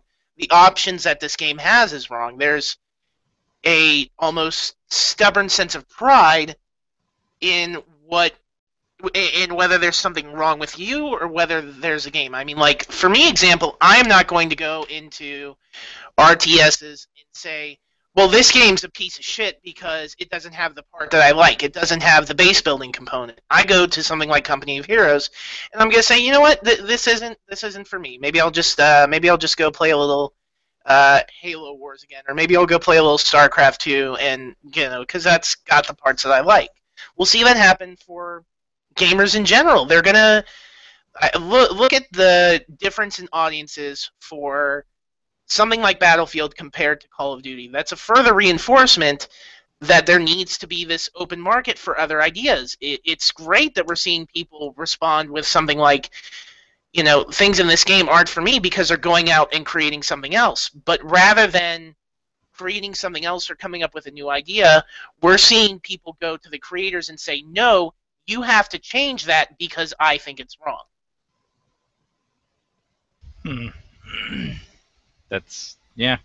And is is there ever been a historical comparison with books where they're like, we needed uh, multiple copies of this book, one with a woman, one, you know, like you just wrote a new book, you wrote a different book, like you didn't just be like, oh, this this. I'm sure there are people who've been like, this story would have been better with a woman or you know a man or whatever, but not to this extent. Not Uh, like, oh, just make. The term is women with two Y's. Thank you very Oh. much.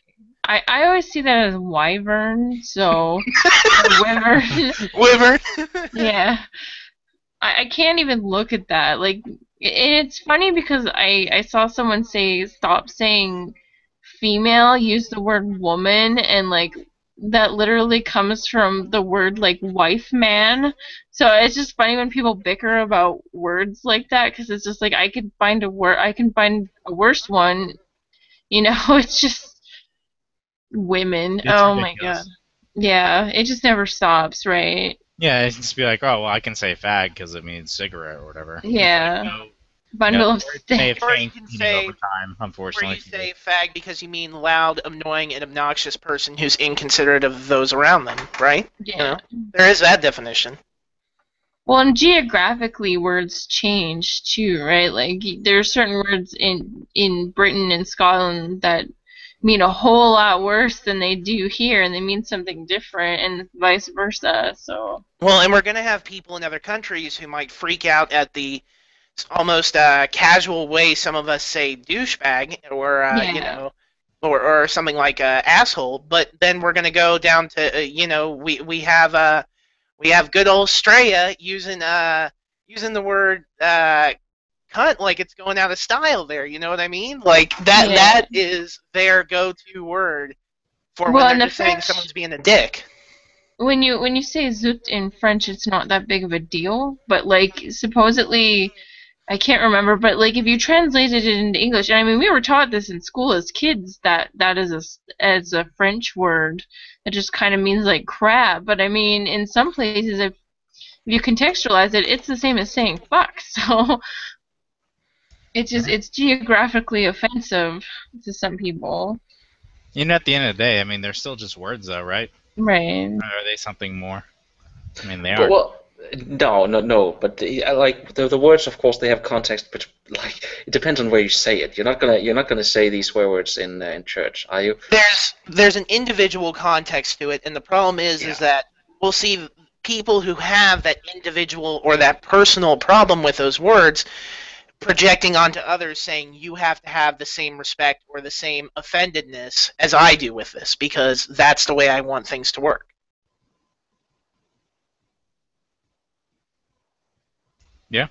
I mean, we can't be it just even with the grand public, especially on the internet. There's no there's no no nice or be nice police, you know.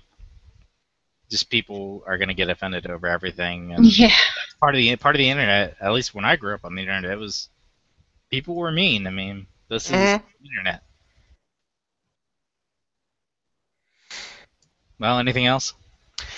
Uh, no, I think that's uh, that's all to comment on from that point. I think we need to get back to what constitutes. Okay, yeah. So what do you think? Um, your what actually makes it a game then? Is it just gameplay? Can games be more gamey than others based upon some sort of factor?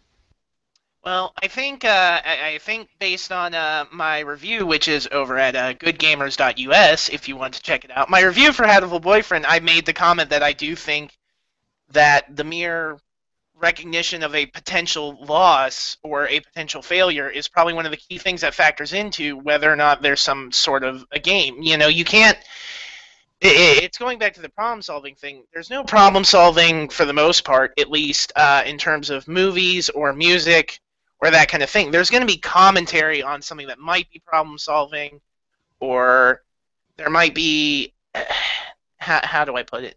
There might be something that challenges a person in terms of their thinking, but there's not direct possibility of failure that will impede the uh, uh, the audience member or the consumer from getting that full experience. And I think that was one of the things that I think it was Roger Ebert made the argument for why games can't be classified as art because that that sort of wall that keeps a person from being able to uh, experience everything that quote unquote piece of art has to offer, it means that it can't be qualified as art. It, it's sort of a paradox, I guess, almost. Okay. So what? So you think that the one of the basic, um, if not primary reasons why something can constitute as a game is a failure state? Am I hearing this correctly? Yeah, that that sounds about right. So if a game doesn't have a failure state, it's less of a game, according to your definition. I would say yes, it is less of a game than other games.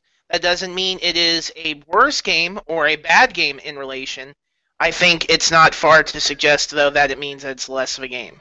So what about Myst? Was there a failure state in Myst or no?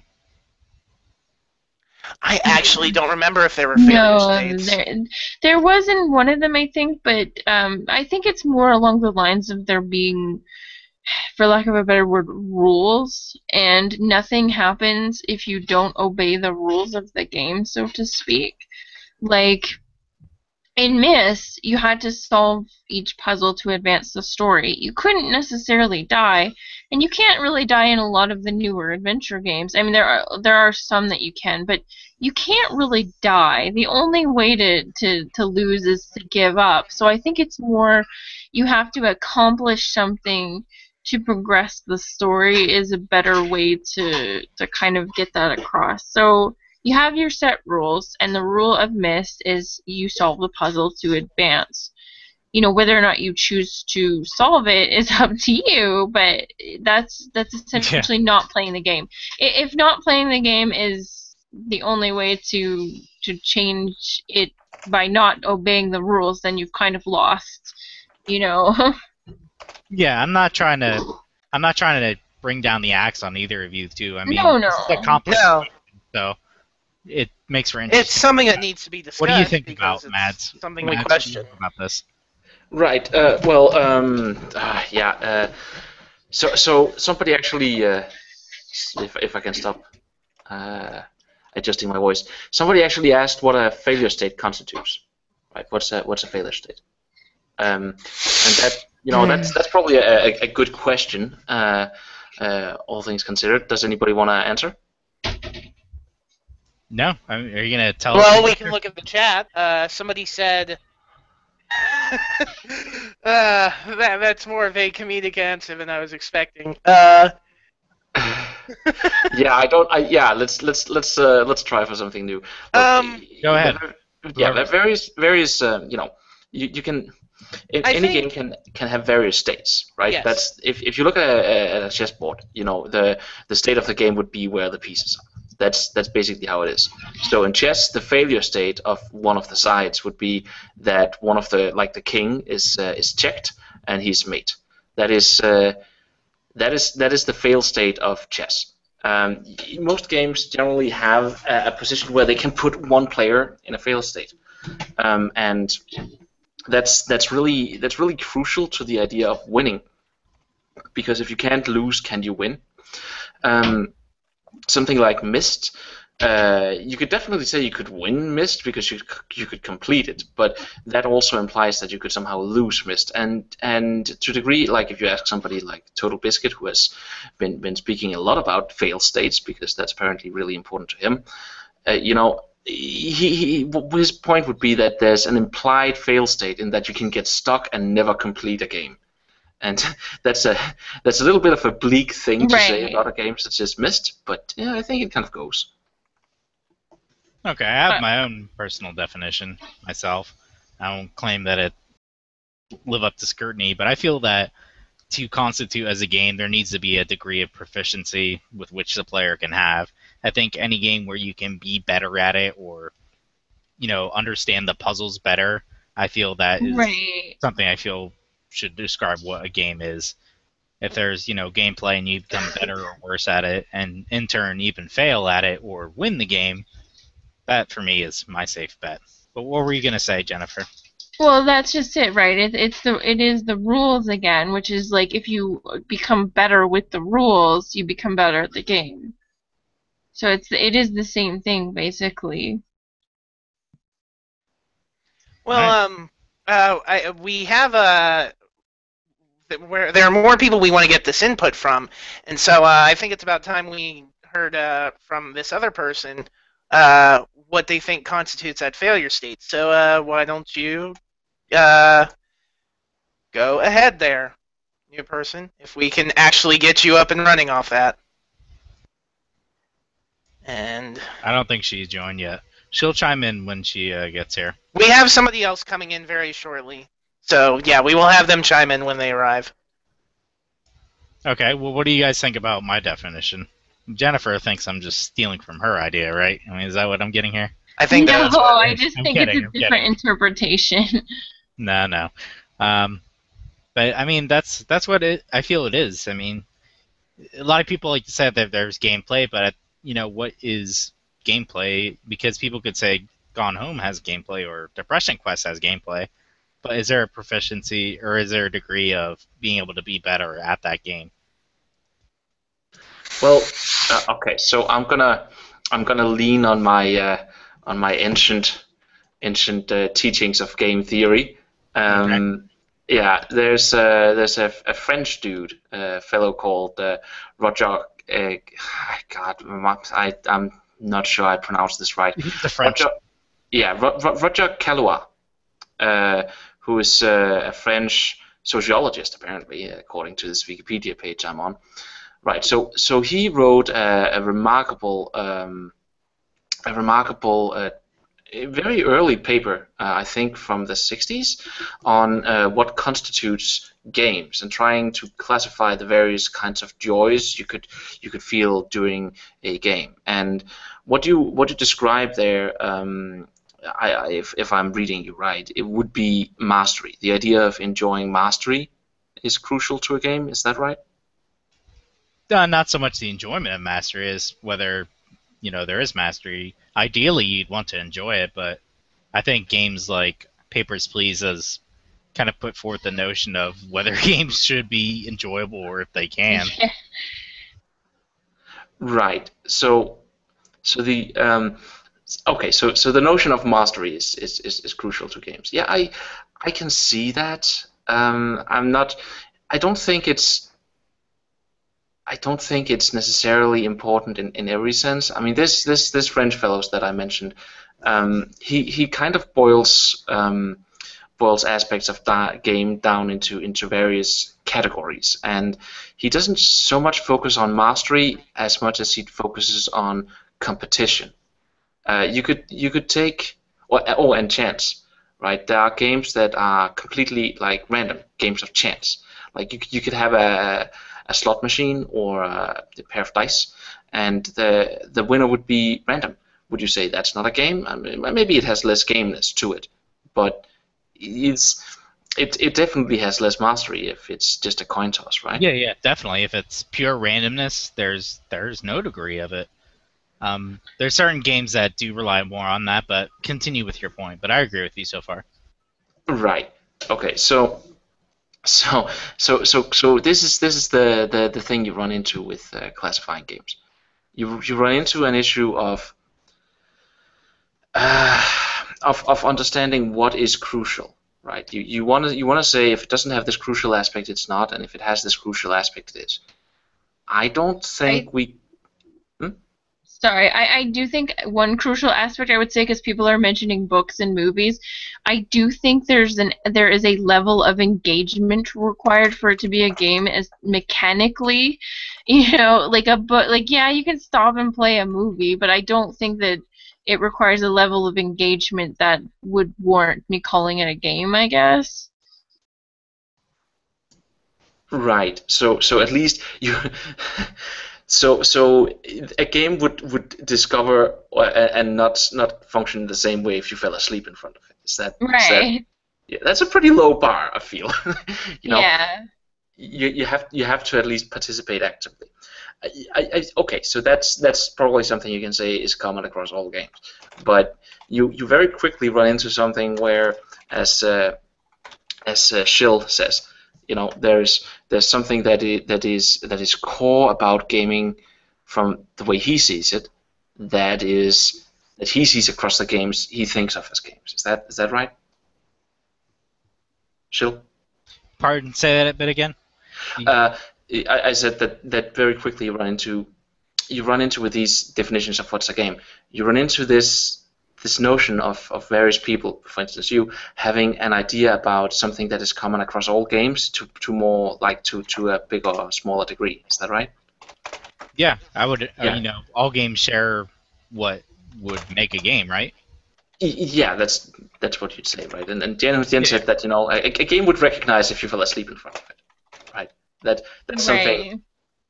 Yeah. So, but but you would say, well, there's more than that, right? Well, I- I would hope so. yeah. But I just mean on a mechanical level, I don't like you could probably and this is where you get into some tricky language where it's yes, I can make a game out of anything. I could make a game out of a group of pencils, but that doesn't make pencils themselves a game. And the same with movies, just because I can stop, rewind, play doesn't mean that, you know, necessarily it's the same thing as a game unless it's created with rules intended to be played like a game. Like there are murder mystery movies that you kind of do that with, but I don't think just your straight up movie is a game, even if you change the intention. Because I had this discussion with somebody before where they're like, well, a movie is a game because I made it a game. And it's like, well, a piece of hair is a game if you make it a game, but that doesn't make the thing a game by itself. Why don't you continue with the point you're trying to bring in, Mads? um, the, the point I'm bringing in is just that when you when you start classifying various things as games, you you inevitably even even this old French dude had trouble. Like and and if you look at any of the any of the people, even even any of the people in DiGRA, they probably have all of their own little definitions of what makes a game. I uh, I I'm not familiar with with all of them, uh, but I know like at least some of them have specific ideas about what gameness is and what's what's particularly gamey, uh, right? So I don't know. Try try. I, I honestly feel like trying to nail it down too hard is is is gonna be fruitless. I don't I don't think it can really be done. Yeah, I, I wouldn't disagree with that, but still makes it fun to talk about, right? And there's still this a significant rise of belief that certain games aren't worthy of the title, right? I'm not really- I'm Home not or Depression Sticky on Quest. the ti- I'm not sticky on the title. I'm okay with calling them games or game Ellas. I just think that it, it's a little it's it's not right to get mad that people don't consider them as much of a game as something else. Like you know, I've played every kind of game on the planet. I've enjoyed everything from, you know, Zork to to Army of Two and stuff like that. But at the same time,